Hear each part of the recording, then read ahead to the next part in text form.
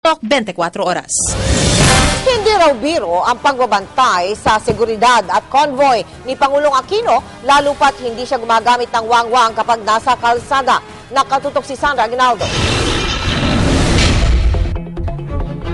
Lahat ng oras, binabantayan ng Presidential Security Group ang seguridad ng Pangulo ng Bansa, lalo na kapag lumabas ito ng Malacanang papunta sa mga appointment nito sa labas. Nang pasamahin kami ng PSG sa Presidential Convoy, nalaman naming hindi madali ito, lalo na't hindi gumagamit ng wangwang si Pangulong Aquino. We don't use the sirens anymore. Nakikiusap, ginagamit namin yung mga loudspeakers para nakikiusap sa tao na makikirani ko. Hindi kami gumagamit ng blinkers. No? Apo.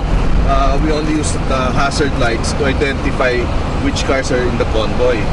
Sa may 30 minutos na biyahe namin, makailang beses tumigil sa traffic light ang convoy. Kapansin-pansing hindi mapakali ang mga PSG sa pagbabantay. Sir, bakit po bukas yung ano, yung mga pinto ng PSG car? Para mas madaling bumaba. If there's an emergency, pwede kaming bumaba kagad. Plus, it's practical also because you can see the side mirror, you can see the back.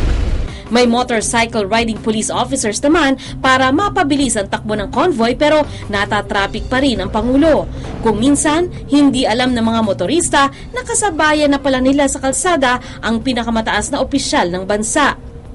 Sabi nga ni Dizon, minsan hindi niya kinalimutan ang bigat ng kanyang responsibilidad na sa mundong balot ng panganib, kailangan protektahan ng PSG ang buhay ng Pangulo ng Bansa kahit pa kapalit nito ay sarili nilang buhay. Sandra Aguinaldo Nakatutok, 24 Oras.